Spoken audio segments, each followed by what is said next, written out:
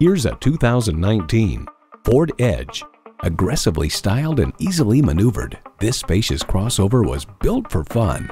Features include automatic transmission, manual tilting steering column, Bluetooth streaming audio, rear parking sensors, manual telescoping steering column, app link, sync external memory control, active grille shutters, Ford Pass Connect Wi-Fi hotspot, and EcoBoost engine.